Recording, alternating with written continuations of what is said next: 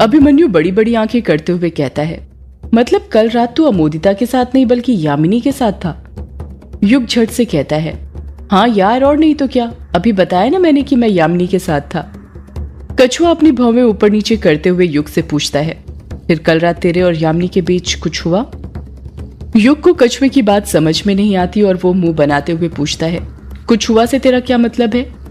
कछुआ शर्माते हुए कहता है अरे मतलब वही जो एक लड़के और लड़की के बीच में होता है जब वो दोनों अकेले रहते हैं। तू तो रात भर यामिनी के साथ था तो तुम दोनों के बीच तो ज़रूर कुछ ना कुछ हुआ होगा। बता ना फिर क्या क्या किया तूने यामिनी के साथ। युग मासूमियत के साथ जवाब देता है, बातें की और कुछ नहीं किया। हाँ उसने मछली भी खिलाई थी, मुझे वो भी ताज़ा ताज़ा मेरे सामने नदी में से पकड़कर।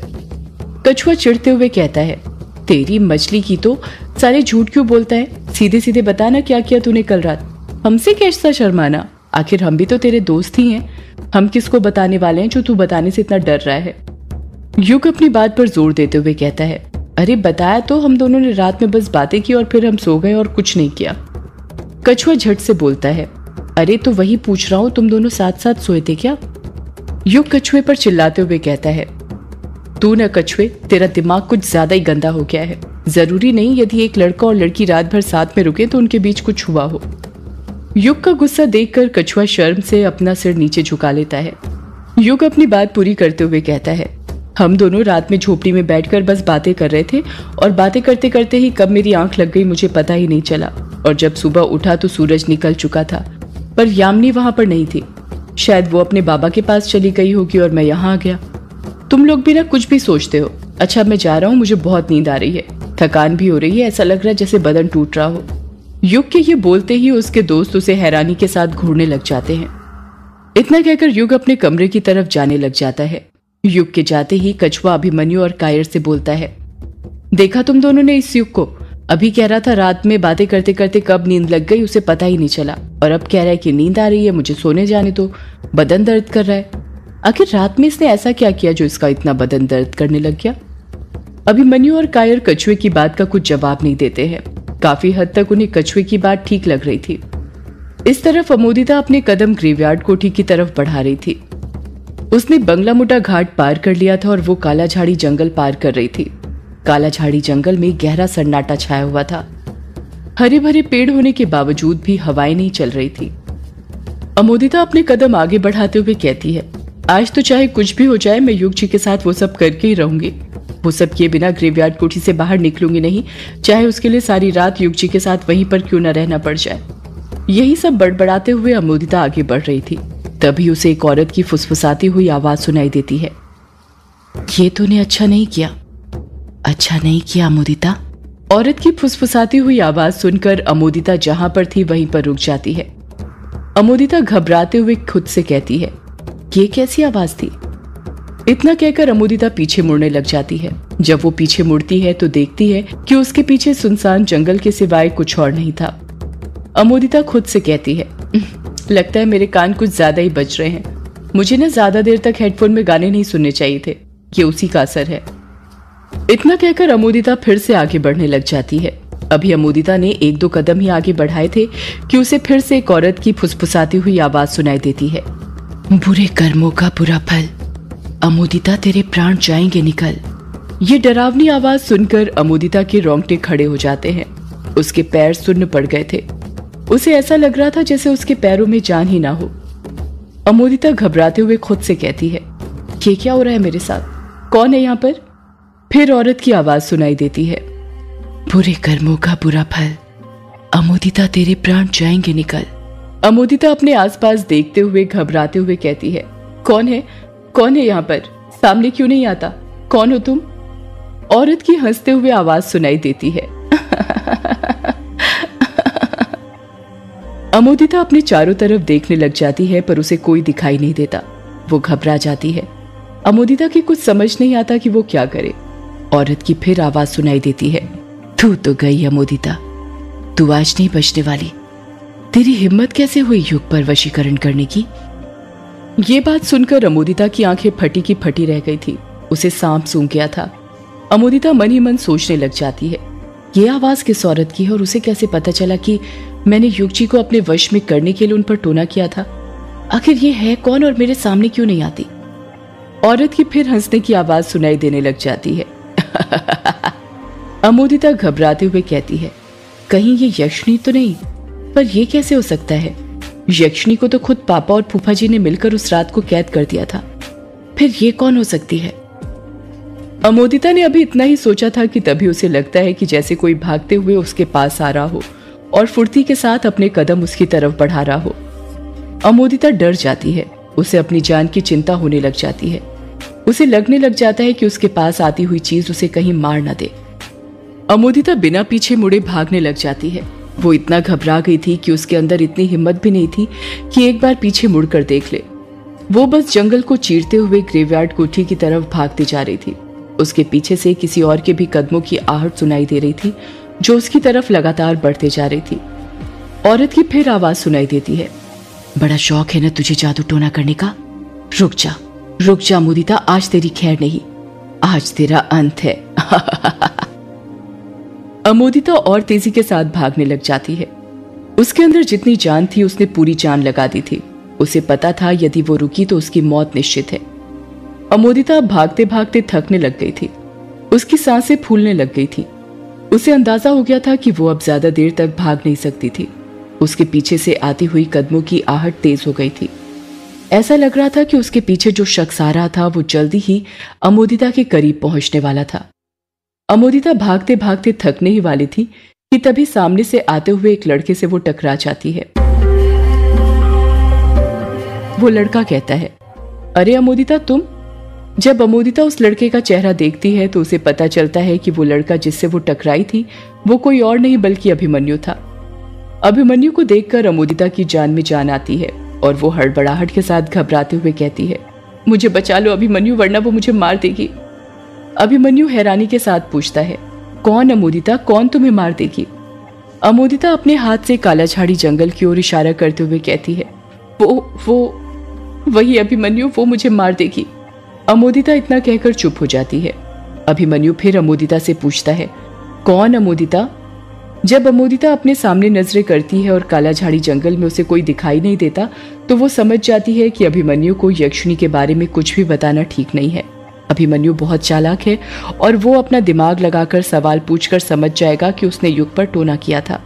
अमोदिता बात को घुमाते हुए कहती है, वो वो जंगली बिल्ली अभिमन्यु अभिमन्यु बिचकते हुए कहता है, क्या कहा? जंगली बिल्ली? अमोदिता अभिमन्यु को अपनी बात पर भरोसा दिलाते हुए कहती है हाँ अभिमन्यु वो जंगली बिल्ली। मेरा पीछा ही नहीं छोड़ रही थी। ऐसा लग रहा था मुझे मार कर ही दम लेगी। वो तो अच्छा हुआ तुम आ गए, वरना पता नहीं वो जंगली बिल्ली मेरा क्या हाल करती। अमोदिता, तुम्हारा दिमाग तो ठीक है ना? तुम किस जंगली बिल्ली की बात कर रही हो? मैं तो इतने दिनों से जंगल पार कर रहा हूँ, पर मुझे तो कोई जंगली बिल्ली आज तक नहीं दिखी। अमोदिता फटाक से बोल देती है, वो सबको नहीं दिखती अभिमन्यु, बस औरतों को दिखती है। ये सब छोड़ो और ये बताओ युग जी कहाँ पर हैं? अभिमन्यु को अमोदिता की बातें बहुत अजीब लगती हैं, पर वो जानता था कि अमोदिता के पीछे दिमाग खपाना बेकार है। वो कब क्या बोलती है उसे खुद पता नहीं होता है। अभिमन्यु अमोदिता के सवाल का जवाब देते हुए कहता है, युग तो ग्रेवयार्ड कोठी में है, अपने कमरे के अंदर सो रहा होगा भी। अमोदिता अपना मुँह फाड़ते हुए कहती है, क्या कहा, युग जी सो रहे हैं वो भी अभी तक? इतनी देर तक भी भला कोई सोता है क्या? वो क्या है ना, कल रात युग रोंका मुझा घाट पर गया था ना तो आज सुबह ही आया तो उसकी नींद पूरी नहीं हुई, इसलिए सुबह आते से ही सो गया। अमोदिता मनी मन सोचने लग जाती है, अगर युग जी कल रात रोंका मुझा घाट पर थे तो मुझसे मिलने क्यों नहीं आए? वो सारी रात घाट पर क्या कर रहे थे अकेले? अमोदिता ये सब सोच ही रही थी कि तभी अभिमन्यु उसे टोकते हुए कहता है, अरे अमोदिता, कहाँ खो गई? अमोदिता जवाब देती है, कहीं नहीं, बस यूँ ही। ये बताओ, अभिमन्यु, तुम कहाँ पर जा रहे हो? वो मैं रोंका मुचा गाँव जा रहा हूँ। कल वांगला त्योहार है ना तो उसी सिलसिले में काम है। अमोदिता चालाकी के साथ कहती है, क्या काम है अभिमन्यु तुम्हें वहाँ पर? अगर तुम चाहो तो मैं अपने पापा से बोल देती हूँ, वो जल्दी करवा देंगे तुम्हारा काम। अभिमन्यु अमोदिता की चालाकी समझ जाता है कि वो जानना चाहती थी कि उसे क्या ज़रूरी काम था रोंग का मुचा गाँव में। अभिमन्यु भी बड़ी चालाकी के साथ जवाब देता है, अरे, उसकी कोई ज़रूरत नहीं अमोदिता, मैं तुम्हारे पापा से बात कर चुका हूँ, बस जाकर उनसे मिलकर आना है, और यदि तुम चाहो तो उनसे पूछ सकती हो मुझे क्या काम है वहाँ पर। वैसे कल बहुत बड़ा सरप्राइज़ मिलने वाला है तुम्हें मेले में। अमोदिता एक्साइटेड होते हुए कहती है, क्या कहा सरप्राइज़? वो भी मुझे? कैसा सरप्राइज़? अमोदिता, मैंने कहा ना सरप्राइज़ है और सरप्राइज़ बताए नहीं जाते। समझी? वो तो तुम्हें कल मेले में आकर ही पता चलेगा। अच्छा अब मैं जाता हूँ। अगर देर हो गई तो तुम्हारे पापा गुस्सा करेंगे। मेरा नंबर किसी और को ना दे दे। इतना कहकर अभिमन्यु वहाँ से जाने लग जाता है। अमोदिता अभिमन्यु को टोकते हुए कहती है, अरे अभिमन्यु, सुनो तो युग जी अपने कमरे में ही है ना? अभिमन्यु जवाब देता है हाँ मोदिता अभी बताया तो तुम्हें। तुम ग्रेवयार्ड को ठीक है दरवाजे को धक्का देना, वो खुल जाएगा। मैं लॉक करके नहीं आया हूँ। तुम युग के जगने का इंतज़ार कर सकती हो। वैसे भी उसे सोए हुए तीन चार घंटे हो गए हैं। हो सकता है तुम्हारे जाने से उसकी नींद खुल जाए। वैसे कल तक तुम्हारे नाम की बड़ी माला जप रहा था वो। आखिर क्या जादू किया है तुमने उस पर? अभिमन्यु की बात सुनकर अमोदिता घबरा जाती है और घबराते हुए कहती है, मैं मैं क्या जादू करूँगी भला युग जी पर? मुझे जादू टोना करना थोड़ी आता है। तुम भी ना अभिमन्यु कुछ भी बोलते रहते हो। मैं क्या तुम्हें सौदाइन लगती हूँ? अमोदिता की बात सुनकर अभिमन्यु हक्का बक्का रह जाता है। वो मन ही मन सोचने लगता है, ये अमोदिता को सौदाइनों के बारे में किसने बता दिया? अभिमन्यु से रहा नहीं जाता और वो अमोदिता से पूछ ही लेता है, अमोदिता, तुम्हें सौदाइनों के बारे में कैसे पता है? क्या तुम किसी सौदाइन को जानती हो? अभिमन्यु की बात सुनकर अमोदिता घबरा जाती है। वो बड़ी हिम्मत से अपनी बात पर ज़ोर देते हुए जवाब देती है, अभिमन्यु, तुम शायद भूल रहे हो, मैं भी इसी गाँव की हूँ। और गाँव का क्या इतिहास है, यहाँ पर क्या क्या होता है, मुझे सब पता है, समझे? अभिमन्यु को अमोदिता की बातों पर विश्वास नहीं होता है। उसे लगने लग जाता है, कहीं अमोदिता ही तो सौदाइन नहीं है। यही देखने के लिए वो उसके पैर देखने लग जाता है। जब वो नीचे अपना सिर करता है तो देखता है कि अमोदिता ने जूती वाली सैंडल पहनी हुई थी, जो कपड़ों की बनी हुई थी, जिस कारण अभिमन्यु को अमोदिता के पैर दिखाई नहीं दे रहे थे। अमोदिता बिना अभिमन्यु से कुछ कहे, वहाँ से जाने लग जाती है। अभिमन्यु को भी रोंका मुचा गाँव जाने में देर हो रही थी, इसलिए वो इस बात पर बहुत ज़्यादा ध्यान नहीं देता और वो भी वहाँ से जाने लग जाता है। अमोदिता ने भागते भागते कालाझाड़ी जंगल पार कर लिया था। वो ग्रेवयार्ड कोठी से बस सौ मीटर की ही दूरी पर थी। अमोदिता के दिमाग से उस औरत की आवाज़ें हट गई थी, जो उसे कालाझाड़ी जंगल में सुनाई दे रही थी। अब तो उसके दिमाग में ये बात चल रही थी कि अगर युग शाम को उससे मिलने के लिए निकला था तो वो उससे मिलने के लिए हवेली क्यों नहीं आया? वो रोंकामुचा घाट पर ही क्यों रुक गया? आखिर वो अकेले वहाँ पर रात भर क्या कर रहा था? यही सब सोचते हुए अमुदिता ग्रेवयार्ड कोठी के दरवाजे के पास पहुँच जाती है। जैसा कि अभिमन्यु ने बताया था, दरवाज़ा बस टिका हुआ था। अमोदिता जैसे ही दरवाजे को धक्का देती है, दरवाज़ा चरमराते हुए खुल जाता है। अमोदिता ग्रेवयार्ड कोठी के अंदर घुसते से ही कहती है, युग जी, कहाँ पर है आप? आप अभी तक सो ही रहे हैं क्या? युग का कोई जवाब नहीं आता है। अमोदिता अपने कदम युग के कमरे की तरफ़ बढ़ाते हुए कहती है कोई जवाब नहीं आया। इसका मतलब ये हुआ कि ग्रेवयार्ड कोठी में युग जी के अलावा कोई नहीं है। बस मैं हूँ और युग जी बढ़िया है। आज मेरे और युग जी के बीच कोई नहीं आ सकता। मैं आज युग जी के साथ वो सब करके ही दम भरूँगी, चाहे कुछ भी हो जाए। यही सब बड़बड़ाते हुए अमुदिता अपने कदम युग के कमरे की ओर बढ़ाने लग जाती है। जब वो युग के कमरे के पास पहुँचती है तो देखती है कि युग गहरी नींद में बेड के ऊपर पीठ के बल सो रहा था। अमोदिता युग के पास जाते हुए कहती है, अरे युग जी तो अभी तक सो रहे हैं। अभिमन्यु ने तो बताया था युग जी तीन चार घंटे से सो रहे हैं। उस हिसाब से तो युग जी को अभी तक उठ जाना चाहिए था। आखिर रात में इन्होंने ऐसा क्या कर लिया जो इन्हें इतनी नींद आ रही है? अमोदिता युग का चेहरा देखते हुए कहती है युग जी को उठा दूँ क्या? उठाऊं या नहीं उठाऊं? कुछ समझ नहीं आ रहा क्या करूँ? उठेंगे तभी तो वो मेरे साथ वो करेंगे, पर ऐसे उठाना ठीक नहीं होगा। कितने प्यार से सो रहे मेरा तो मन ही नहीं कर रहा युग जी को उठाने का। एक काम करती हूँ, यहीं पर बैठी रहती हूँ। जब जी उठेंगे और आँखें खोलते ही सबसे पहले मुझे देखेंगे तो खुश हो जाएँगे और खुशी के मारे सीधे मुझे गले लगा लेंगे। इतना सोचकर अमोदिता शर्माने लग जाती है और युग के बिस्तर के पास ही जगह बनाकर बैठ जाती है। अमोदिता युग को सोते हुए देखने लग जाती है और उसके जगने का इंतज़ार करने लग जाती है। इंतज़ार करते करते ही दो तीन घंटे बीत जाते हैं, पर युग की नींद अभी तक नहीं खुली थी। अमोदिता उबासी लेते हुए कहती है ये युग जी तो उठ ही नहीं रहे। अब क्या करूँ मैं? मैं तो बोर हो गई। हम्म, मेरे मोबाइल में तो बैटरी भी नहीं है कि फेसबुक ही चला लूँ। अब करूँ तो क्या करूँ मैं? इतना कहकर अमोदिता अपनी नज़रें युग के कमरे के चारों ओर घुमाने लग जाती है। अमोदिता सोच ही रही थी कि वो क्या करे तभी उसकी नज़र युग के कमरे के अंदर रखे टेबल पर पड़ती है जिसके ऊपर टाइपराइटर रखा हुआ था। अमोदिता टाइपराइटर को देखते हुए कहती है अरे ये टाइपराइटर किसका है? इतना कहकर अमोदिता बिस्तर पर से उठती है और टेबल के पास रखी कुर्सी के ऊपर जाकर बैठ जाती है। अमोदिता टाइपराइटर को देखते हुए कहती है, ये टाइपराइटर तो बहुत पुराना लग रहा है, पर ये आया कहाँ से? पिछली बार जब मैं यहाँ पर आई थी, तब तो ये टाइपराइटर यहाँ पर नहीं था। कहीं युग जी ने इसे किसी कबाड़ी से तो नहीं खरीदा? ये युग जी बिना पता नहीं क्या क्या करते रहते हैं। लगता है इन्हें एंटीक चीज़ें कलेक्ट करने का शौक है, पर देखना शादी के बाद मैं सब कुछ बदल दूँगी। ऐसे फिजूल खर्चे नहीं करने दूँगी उन्हें। अब मोदिता ये सब बड़बड़ा ही रही थी कि तभी उसकी नज़र टेबल पर फैले कागजों पर पड़ती है, जिस पर हाथों से कुछ लिखा हुआ था। वहीं पर एक पेन और चश्मा भी रखा हुआ था। अमोदिता उन कागजों को हाथ लगाते हुए कहती है, इसमें तो ऑर्गेनिक खेती के बारे में लिखा है कि शुरुआत कैसे करनी है कौन कौन सी फ़सलें लगानी है। पर इसमें यह सब क्यों लिखा है युग जी ने? कुछ समझ नहीं आ रहा। अरे हाँ याद आया। मैं तो भूल ही गई थी। युग जी ऑर्गेनिक खेती का स्टार्टअप करने ही तो आए हैं यहाँ पर। तो खेती के प्लान्स के बारे में तो लिखेंगे ही ना। मुझे लव लेटर थोड़ी लिखेंगे। मैं भी ना कुछ भी सोचती हूँ। इतना कहकर अमोदिता टेबल पर ही रखे चश्मे को उठाकर पहनते हुए कहती है, अरे, ये चश्मा तो और भी पुराना लग रहा है। जरा लगाकर देखो तो कैसा लगता है मुझ पर? अमोदिता अपना मोबाइल निकालती है और उसमें अपना चेहरा देखते हुए कहती है, मैं तो पूरी माँ की तरह लग रही हूँ। लगूँगी भी क्यों नहीं? आखिर मैं सौदाइन जो हूँ। मेरे अंदर उन्हीं के गुड़ तो हैं, पर समझ नहीं आता ये युग जी इतना पुराना चश्मा क्यों पहनते हैं? इन्हें तो अपने लिए नया चश्मा ले लेना चाहिए। यही सब बड़बड़ाते हुए अपना चेहरा मोबाइल में देखते हुए अमोदिता अपनी लटों को सवार ही रही थी कि तभी उसे मोबाइल के अंदर एक काला साया दिखाई देता है, जिसे देखकर उसकी जान हलक में आ जाती है। अमोदिता खुद से कहती है, ये साया किसका था?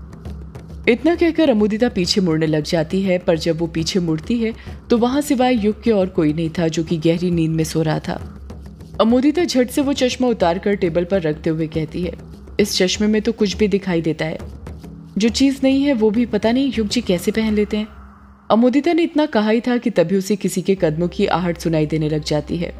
अमोदिता कदमों की आहट सुनते हुए कहती है, लो, आ गए युग जी के दोस्त। इनको भी अभी आना था। एक काम करती हूँ, कुछ भी बहाना करके इन्हें यहाँ से जाने के लिए बोल देती हूँ। आखिर तभी तो मैं युग जी के साथ वो सब कुछ कर पाऊँगी जब ग्रेवयार्ड कोठी में कोई होगा नहीं। यही सब सोचते हुए अमुदिता कुर्सी पर से उठती है और युग के कमरे से बाहर जाने लगती है। अभी अमुदिता ने युग के कमरे की दहलीज पार की ही थी कि तभी उसे एक औरत के फुसफुसाने की आवाज़ सुनाई देती है। तूने अच्छा नहीं किया अमुदिता। तूने अच्छा नहीं किया। औरत की आवाज़ सुनकर अमुदिता का दिल दहक जाता है। और वो मन ही मन सोचने लग जाती है कि यक्षिणी यहाँ पर भी आ गई क्या फिर से? लगता है ये आज मुझे नहीं छोड़ने वाली। औरत के हंसने की आवाज़ सुनाई देने लग जाती है। औरत की आवाज़ सुनकर अमोदिता इतना डर गई थी कि सांस तक ठीक से नहीं ले पा रही थी, पर वो भी आखिर एक स्वादाइन थी। वो बड़ी हिम्मत करके बोलती है, क्या अच्छा नहीं किया मैंने? और ये क्या बकवास कर रही हो? कौन हो तुम? कुछ देर तक सन्नाटा छाया रहता है, पर कुछ ही देर बाद जब अमोदिता अपने कदम आगे बढ़ाने वाली होती है, तभी फिर किसी औरत की फुसफुसाती हुई आवाज़ सुनाई देती है। तू जानना चाहती है कौन हूँ मैं? तो सुन, मैं यक्षिणी, तेरी मौत। यह आवाज़ सुनकर अमोदिता की रूह काँप उठती है और उसके हाथ पैर थर थर कांपने लग जाते हैं। ग्रेवयार्ड कोठी में यक्षिणी के हंसने की आवाज़ें गूंजने लग जाती है। अमोदिता घबराते हुए कहती है क्या? क्या कहा तुमने? यक्षिणी? यक्षिणी की आवाज़ सुनाई देती है। हाँ मैं यक्षिणी तेरी मौत। तूने युग पर टोना करके ठीक नहीं किया अमोदिता। अब उसकी सजा तुझे भुगतनी पड़ेगी। अमोदिता हकलाते हुए कहती है स, स, स, सजा? कैसी सजा? अमोदिता जवाब का इंतज़ार करने लग जाती है पर कोई जवाब नहीं आता है। अमोदिता मन ही मन सोचने लग जाती है कि यक्षिणी मेरे साथ अब क्या करने वाली है? ये मुझे क्या सजा देने वाली है? मैं तो अपने साथ राय भी नहीं लाई जिससे ये यक्षिणी डरती है और मैं तो वो मंत्र भी भूल गई जो माँ ने मुझे बताया था। अब मैं क्या करूँ? मुझे बचा लो भगवान। आज के बाद कभी जादू टोना नहीं करूँगी, पक्का। माँ के कारण फंस गई मैं। अमोदिता भगवान से अपनी जान बचाने की गुहार लगाई रही थी कि तभी उसे एहसास होता है कि उसकी जांघों को कोई छू रहा है। अमोदिता घबराते हुए कहती है, ये तुम मेरे साथ क्या कर रही हो यक्षिणी? मैं कोई मर्द नहीं हूँ जो तुम मेरे साथ ऐसा कर रही हो। मैं अंदर से औरत ही हूँ। अमोदिता को एहसास होता है कि पहले तो कोई बड़े ही प्यार से उसकी जांघों को सहला रहा था, पर देखते ही देखते कोई अदृश्य शक्ति उसकी जांघों को अपने बाजुओं की पूरी ताकत से मसलने लग जाती है। अमोदिता दर्द से कराते हुए कहती है, नहीं, यक्षिणी, आह, मुझे दर्द हो रहा है। ऐसा मत करो, छोड़ो मुझे। अमोदिता दर्द से कराहे जा रही थी, पर वो अदृश्य शक्ति उसे छोड़ने का नाम ही नहीं ले रही थी। अमोदिता को महसूस होता है कि पहले तो वो अदृश्य शक्ति उसकी जांघों को मसल रही थी, पर देखते ही देखते वो अदृश्य शक्ति उसकी जांघों से उसके बदन के ऊपर के हिस्से की ओर अपना हाथ बढ़ाने लग जाती है। हाथ बढ़ाते बढ़ाते ही वो उसके वक्ष तक पहुँच गई थी। अमोदिता चीखती है, नहीं, यक्षिणी, रुक जाओ। ये सब मत करो। मुझे इतनी बड़ी सजा मत दो, मैं तुम्हारी शिकार नहीं बनना चाहती। अमोदिता ने इतना कहा ही था कि तभी अचानक से उसने जो कुर्ती पैजामा पहनी हुई थी, उसके पैजामे का नाड़ा अपने आप खुलने लग जाता है। अमोदिता की कराहने की आवाज़ के साथ उसके आँसू भी निकलने लग जाते हैं। अमोदिता रोते हुए कहती है, रुक जाओ यक्षिणी, ऐसा मत करो। रुक जाओ, मुझे अपना शिकार मत बनाओ। मैं युग जी पर अब कभी अपने डोरे नहीं डालूँगी। उनसे दूर ही रहूँगी, छोड़ दो मुझे। अमोदिता ने इतना कहा ही था कि अगले ही पल उसका पैजामा अपने आप नीचे हो जाता है। उसकी नग्न टांगे दिखने लग जाती हैं, जो किसी पगडंडी की तरह हिले जा रही थी। अमोदिता को एहसास होने लग जाता है कि कोई उसकी कुर्ती को ऊपर उठा रहा है। उस कुर्ती को उसके बदन से निकालने की कोशिश कर रहा है। अमोदिता अपने शरीर की पूरी ताकत लगाकर उस अदृश्य शक्ति को रोकने की कोशिश कर रही थी, पर उसकी सारी कोशिशें नाकाम हो रही थी। अमोदिता रोते हुए कहती है यक्षिणी ये सब गलत है। मैं भी एक स्त्री हूँ और तुम भी। एक स्त्री होकर तुम दूसरे स्त्री के साथ ये सब कैसे कर सकती हो? प्लीज़ छोड़ दो मुझे। मैं वादा करती हूँ कि युग जी से दूर रहूँगी। उनके पास कभी नहीं भटकूँगी। अमोदिता ने अपने दोनों हाथों से अपनी कुर्ती को कसकर पकड़ कर रखा हुआ था। तभी उसे एहसास होता है कि जैसे उस अदृश्य शक्ति ने उसकी कुर्ती को छोड़ दिया हो। अमोदिता अपनी सलवार को वहीं पर फर्श पर पड़ा रहने देती है और वहाँ से भागने लग जाती है। उस वक्त अमोदिता को ग्रेवार्ड कोठी से बाहर जाना ही ठीक लगता है। वो वहाँ से भागने लग जाती है। अमोदिता भागते भागते अभी सीढ़ियों तक पहुँची थी कि तभी सीढ़ियाँ उतरते वक्त उसका पैर फिसल जाता है और वो गुलाटी खाते हुए सीढ़ियों से गिरने लग जाती है। फर्श पर पहुँचते ही वो बेहोश हो जाती है। दो घंटे बाद, अमोदिता बेहोश पड़ी हुई थी। जब वो धीरे धीरे अपनी आँखें खोलती है तो उसकी आँखों के सामने युग का चेहरा था, जो उसे आँखें फाड़ फाड़ कर देखे जा रहा था। अमोदिता लेटे लेटे ही अपने आसपास नज़रें घुमाने लगती है और देखती है कि इस वक्त वो युग के कमरे में उसके बिस्तर के ऊपर लेटी हुई थी। अमोदिता होश में आते हुए कहती है युग जी आप युग हड़बड़ाहट के साथ पूछता है, तुम ठीक तो हो ना, अमोदिता? अमोदिता कुछ जवाब देती उससे पहले उसे याद आता है कि यक्षिणी ने उसकी सलवार उतार दी थी। वो झट से अपनी नज़रें अपने पैरों की तरफ़ घुमाती है और देखती है कि उसने सलवार पहनी हुई थी। उसके लेफ़्ट पैर में मोच आई थी जिस पर युग ने कॉटन की क्रेप बैंडेज लपेट दी थी।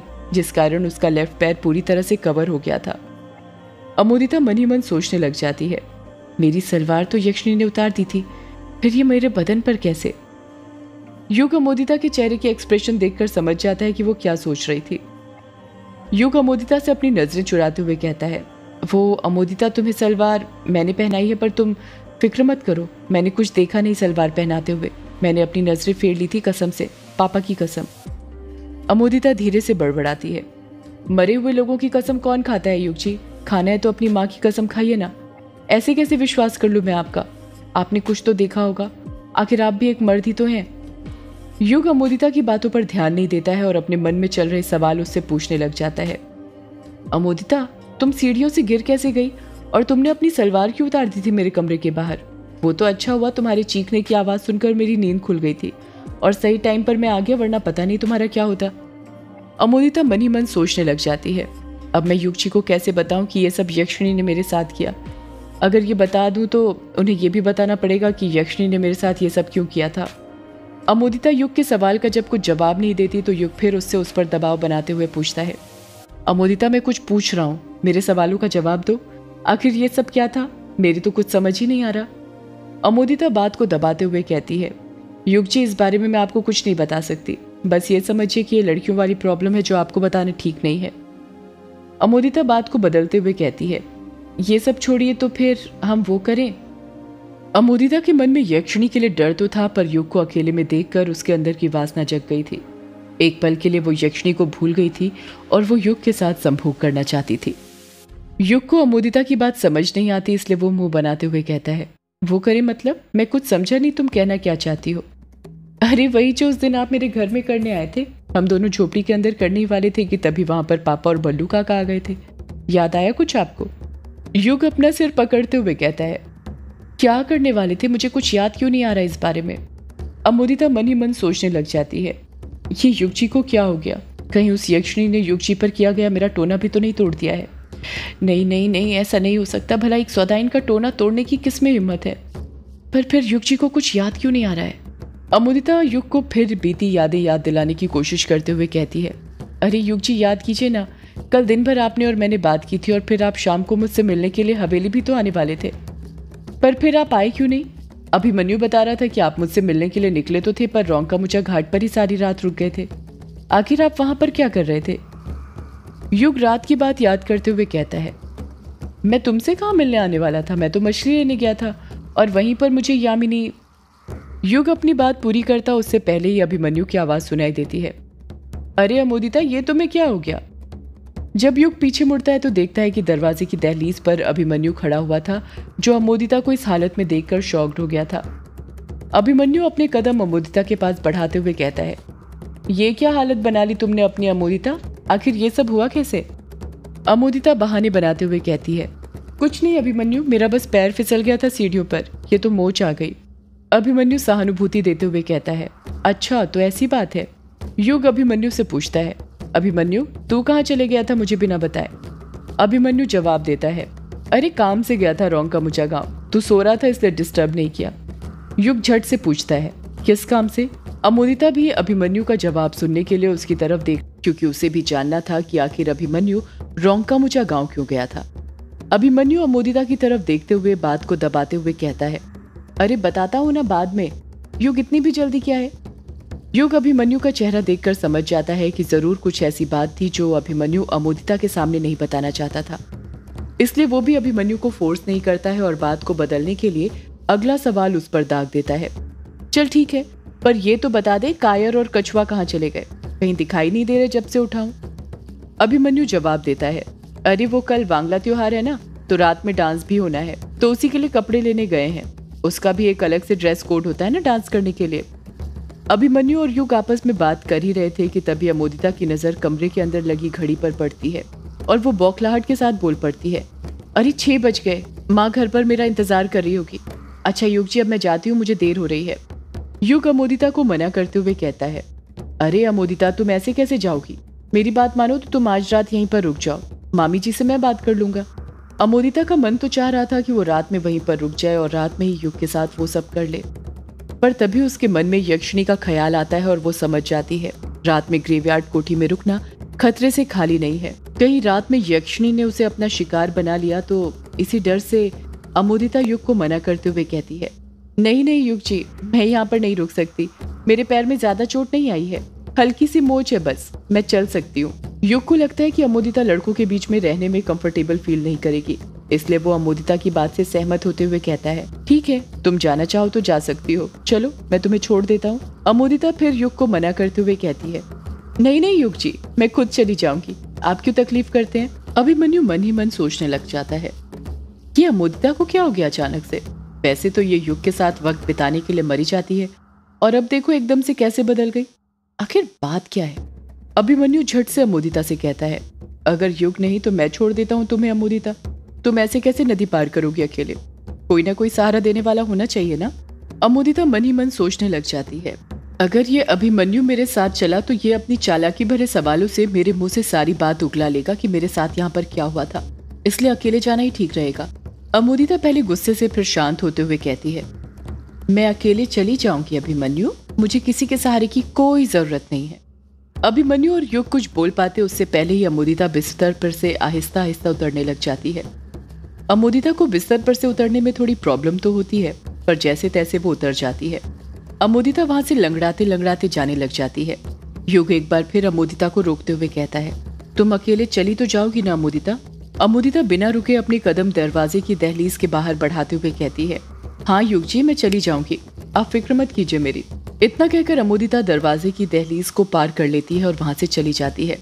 अमोदिता के जाते ही युग अभिमन्यु से पूछता है, अब बताएगा कि क्यों गया था तू रोंग का मुझा गाँव? अभिमन्यु फटाक से जवाब देता है हाँ बताता हूँ। देख, तुझे पता है ना कि बिंदु ने हमें बताया था कि जो सौदाइन होती है, उनके पैर के अंगूठे का नाखून नहीं होता है। युग अभिमन्यु की बात से हामी भरते हुए कहता है हाँ बताया था तो? तो उसने ये भी बताया था कि आसपास के गाँव की सारी औरतें वांगला त्योहार में आएँगी। तो मेरे पास एक आइडिया है, जिससे हम पता लगा सकते हैं कि उनमें से कौन सी औरत सौदाइन है। युग हड़बड़ाहट के साथ पूछता है, क्या आइडिया है तेरे पास? अभिमन्यु युग को अपना आइडिया बताते हुए कहता है तो सुन, आइडिया कुछ इस प्रकार है कि अभिमन्यु युग को पूरी बात बता देता है कि उसके पास सौदाइन के बारे में पता करने का क्या आइडिया है। सब कुछ सुनने के बाद युग अभिमन्यु को घूरते हुए कहता है, तुझे लगता है ये आइडिया काम करेगा? अभिमन्यु युग को भरोसा दिलाते हुए कहता है अरे हंड्रेड परसेंट काम करेगा। तू जानता नहीं है गाँव की औरतों को, इन्हें फ्री की चीज़ें कितनी पसंद होती हैं। बस एक बार ये कायर और कछुआ भी आ जाए तो उन्हें भी प्लान समझा दूँगा। फिर तू देखना कल कैसे बांग्ला त्योहार में सौदाइन का पता चलता है। इस तरफ़ हवेली के अंदर रजनी अपने कमरे में तंत्र मंत्र यंत्र की किताब पढ़ रही थी। रजनी की एक नज़र किताब पर थी तो दूसरी नज़र दीवार पर लगी घड़ी पर। वो बार बार किताब पढ़ते जा रही थी और घड़ी की तरफ़ देखते जा रही थी। रजनी किताब के पन्ने पलटाते हुए कहती है, ये नालायक अमोदिता अभी तक आई क्यों नहीं? लगता है अभी तक युग का मन नहीं भरा होगा अमोदिता से। वो मेरी अमोदिता को छोड़ ही नहीं रहा होगा। चलो अच्छा है।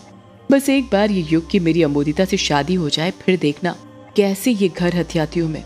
उस युग को तो पता भी नहीं है कि उसके पास कितनी दौलत है। इतना कहकर रजनी वापस से किताब पढ़ने लग जाती है और उसका मन बेचैन हो रहा था ये बात जानने के लिए कि अमोदिता अपने मकसद में कामयाब हुई होगी या फिर नहीं। रजनी खुद से बड़बड़ाती है। ये अमोदिता भी ना पूरी नालायक ही है।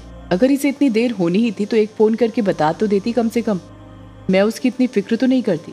पता नहीं ये युग के साथ कुछ कर भी पाई होगी या नहीं, या हमेशा की तरह बस शर्माते रह गई होगी। कुछ भी करके इसके अंदर की शर्म निकालनी पड़ेगी मुझे, वरना ऐसे तो काम नहीं चलने वाला। रजनी अमोदिता के बारे में सोच ही रही थी कि तभी अमोदिता की कराहते हुए आवाज़ सुनाई देती है। माँ माँ। जब रजनी पीछे मुड़ती है तो अमोदिता की हालत देखकर दंग रह जाती है। अमोदिता लंगड़ा लंगड़ा कर चल रही थी और उसके पैर पर क्रेप बैंडेज बंधी हुई थी। रजनी अमोदिता को ऊपर से लेकर नीचे तक देखते हुए कहती है, ये तुझे क्या हो गया अमोदिता? ये पैर में गर्म पट्टी क्यों बाँध कर रखी है? तूने और युग ने मिलकर कुछ ज़्यादा ही कर लिया क्या जो इतना लंगड़ा लंगड़ा के चल रही है? अमोदिता उखड़े हुए लहसे में कहती है, माँ, तुम्हें मेरी हालत देखकर लग रहा है क्या कि मेरे और युग जी के बीच में कुछ हो पाया होगा? रशनी हैरानी के साथ कहती है अगर तुम दोनों के बीच कुछ हुआ ही नहीं तो तुझे आने में इतनी देर कैसे हो गई? वहाँ पर क्या गप्पे मार रही थी जो आने में देर हो गई या फिर घर पर आकर काम करना पड़ेगा इसलिए ये पैरों में पट्टी बाँध कर आई है जानबूझकर? अमोदिता अपना मुँह फुलाते हुए कहती है कि तुम कैसी बातें कर रही हो माँ? तुम्हें मेरी हालत देखकर लगता है कि मैं नाटक कर रही हूँ। यहाँ पर मैं अपनी जान बचा कर आई हूँ और तुम हो कि कुछ भी बोले जा रही हो? रजनी हैरानी के साथ कहती है, जान बचा कर आई है मतलब? अमोदिता रजनी को सारी घटनाएँ बता देती है, जो भी उसके साथ ग्रेवयार्ड कोठी जाने के वक्त और ग्रेवयार्ड कोठी के अंदर घटी थी। सब कुछ सुनने के बाद रजनी अमोदिता को घूरते हुए कहती है मतलब तेरा ये कहना है कि पहले उस यक्षिणी ने तुझ पर काला झाड़ी जंगल में हमला किया और फिर ग्रेवयार्ड कोठी में? अमोदिता हामी भरते हुए कहती है हाँ माँ, और नहीं तो क्या? रजनी अमोदिता पर भिन्नाते हुए कहती है, तू पागल हो रही है क्या? कहीं भाँग वांग खाकर तो नहीं आ गई तू? ये कैसे हो सकता है? अमुदिता रजनी को अपनी बात पर विश्वास दिलाते हुए कहती है, माँ, मैं सच कह रही हूँ, मेरी बात पर यकीन करो। मैं आपको बता नहीं सकती कि वो यक्षिणी मेरे साथ क्या कर रही थी। मुझे तो बताने में भी शर्म आती है। उसने मेरी सलवार उतार दी थी, वो तो अच्छा हुआ कि मैं उसके चंगुल से छूट गई, वरना पता नहीं वो मेरे साथ क्या करती। वो यक्षिणी मर्दों को तो अपनी हवस का शिकार बनाती ही है, साथ में औरतों को बनाना भी शुरू कर दिया। पता नहीं उसके अंदर ये कैसी हवस भरी हुई है जो मिटती ही नहीं। रजनी को अभी भी अमोदिता की बातों पर विश्वास नहीं हो रहा था। वो यकीन नहीं कर पा रही थी कि यक्षिणी अमोदिता के साथ ऐसा कुछ कर सकती थी। रजनी अमोदिता की सारी बातों को नकारते हुए कहती है, ऐसा कैसे हो सकता है अमोदिता? तू ही बता। यक्षिणी को तो खुद तेरे पापा और फूफा जी ने कैद किया था। फिर वो तेरे साथ ये सब कैसे कर सकती है? ज़रूर तेरा दिमाग ठिकाने पर नहीं है। अमोदिता अपनी बातों पर ज़ोर देते हुए कहती है, माँ, मेरा दिमाग बिल्कुल ठिकाने पर है, समझी? आप मेरी बात पर यकीन कीजिए। अमोदिता कुछ सोचते हुए कहती है, माँ, ये भी तो हो सकता है उस यक्षिणी को किसी ने आज़ाद कर दिया हो। अब रजनी को अमोदिता की बातों पर विश्वास होने लग गया था। वो अमोदिता की बातों को गौर से सुनने लग जाती है। अमोदिता अपनी बात को आगे जारी रखते हुए कहती है, माँ, वो यक्षिणी तो आज़ाद हुई ही साथ में युग जी पर जो हमने मिलकर टोना किया था ना, वो भी टूट गया। रजनी चीखते हुए कहती है, क्या? हाँ माँ, मैंने युग जी को इतने इशारे किए पर वो कुछ समझे ही नहीं। उन्हें तो कुछ भी याद नहीं है कि इन दो तीन दिनों में उन्होंने मेरे साथ क्या क्या बातें की और क्या क्या करने की कोशिश करी थी। एक और बात, कल युग जी मुझसे मिलने के लिए ग्रेवयार्ड कोठी से निकले तो थे पर आए नहीं। सारी रात रोंका मुझा घाट में थे वो। पता नहीं वहाँ पर वो क्या कर रहे थे। रजनी कुछ सोचते हुए कहती है, अगर युग तुझसे मिलने के लिए निकला था तो यहाँ पर आया क्यों नहीं? आखिर ये सब क्या चक्कर है? वही तो माँ, मेरी तो कुछ समझ में नहीं आ रहा कि ये सब क्या हो रहा है। ऐसा लग रहा है जो चीज़ हम हासिल करने वाले थे वो हमारी मुट्ठी से फिसलती जा रही है। अमोदिता, तू शायद भूल रही है। हम सौदाइन हैं और सौदाइन इतनी आसानी से अपने हाथों से कोई चीज़ छूटने नहीं देती। अमोदिता समझ जाती है कि रजनी के दिमाग में कुछ न कुछ तो खिचड़ी ज़रूर पक रही थी। अमोदिता से रहा नहीं जाता और वो रजनी से पूछ ही लेती है, माँ, अब क्या चल रहा है तुम्हारे दिमाग में? रजनी जवाब देने की जगह अमोदिता से ही सवाल पूछ लेती है, कल क्या है अमोदिता? अमोदिता सोचते हुए कहती है, कल तो बांग्ला त्योहार है। रजनी गुस्से से कहती है, वो तो मुझे भी पता है, कल बांग्ला त्योहार है, पर कुछ और भी है। सोच जरा। अमोदिता अपने दिमाग पर ज़ोर देते हुए कहती है, कल क्या है माँ? कहीं तुम्हारे और पापा की शादी की सालगिरह तो नहीं है? रजनी अमोदिता पर दहाड़ते हुए कहती है, नालायक लड़की तुझे शादी के अलावा कभी कुछ और सोचता नहीं क्या? जब देखो तब शादी की रट लगाती रहती है। अमोदिता मुँह बनाते हुए कहती है, माँ, तुम ही बता दो ना कल क्या है? मुझ पर गुस्सा क्यों कर रही हो? रजनी जवाब देती है कल अष्टमी है और कल रात हम वो करने वाले हैं जो मैं करना नहीं चाहती थी। पर लगता है वो करना ही पड़ेगा। उसके बिना काम नहीं चलने वाला। अमोदिता लंबी आह भरते हुए कहती है, माँ, तुम क्या करने का सोच रही हो? रजनी अमोदिता की बात पर ध्यान नहीं देती और खुद से बड़बड़ाती है। उससे ही सारे सवालों के जवाब मांगने पड़ेंगे। उसे बुलाना ही पड़ेगा। अमोदिता मुँह बनाते हुए कहती है, माँ, ये तुम क्या बकबक कर रही हो? किसे बुलाने की बात कर रही हो? रजनी जवाब देती है कर्ण पिशाचिनी को। अमोदिता अपना मुँह फाड़ते हुए कहती है, माँ, कहीं तुम कर्ण पिशाचनी साधना की बात तो नहीं कर रही हो, जिसके बारे में तुमने मुझे उस दिन बताया था? हाँ मैं उसी साधना की बात कर रही हूँ। कल रात हम कर्ण पिशाचनी साधना करेंगे। पर माँ, तुम तो कह रही थी कि ये बाद में करेंगे। इसे करना बड़ा मुश्किल है और इसे तो अमावस्या या पूर्णिमा को किया जाता है ना? हाँ पर लगता है कल ही करना पड़ेगा, क्योंकि हमारे पास वक्त बिल्कुल नहीं है। हमें कल ही जानना पड़ेगा कि आखिर यक्षिणी आज़ाद हुई है या नहीं, और ये भी कि युग का वशीकरण किसने तोड़ा है। कौन है जो युग और तेरे बीच में आने की कोशिश कर रहा है? कर्ण पिशाचनी के पास सारे सवालों का जवाब रहता है। वो हमें सब कुछ बता देगी। अमोदिता हैरानी के साथ कहती है, माँ, उसे सच में सब पता होता है? हाँ पागल सब कुछ। कल रात तैयार रहना। एक और चीज़। तू एक सौदाइन है और सौदाइन को ये अष्टमी पूर्णिमा, अमावस्या सब तारीखें याद होनी चाहिए।